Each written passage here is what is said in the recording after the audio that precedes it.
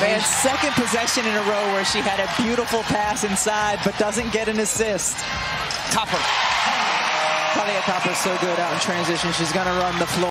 Fewest points allowed per game. On pace to break all sorts of records this season.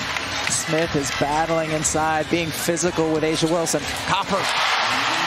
With the three. Delle Donne did it in 2019 when she was the MVP and the Mystics won the championship.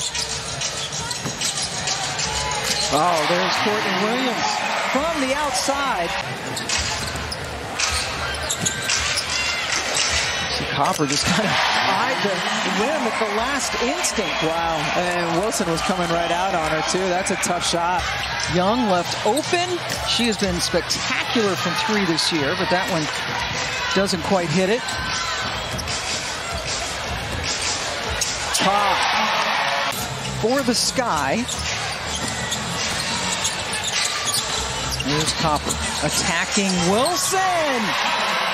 I mean, 22 made threes total in their first three seasons.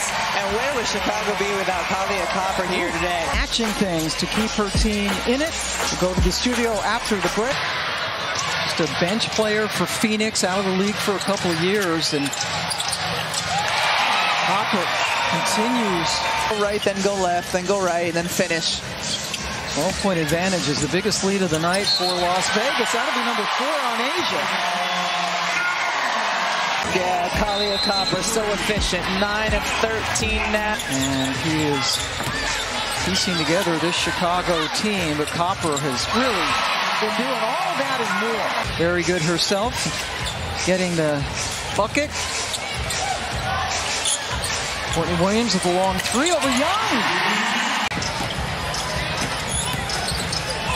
Chelsea Gray now with nine assists. Count the basket for Copper on the other end. Saying, no, I'm not going to do it. And then she did it.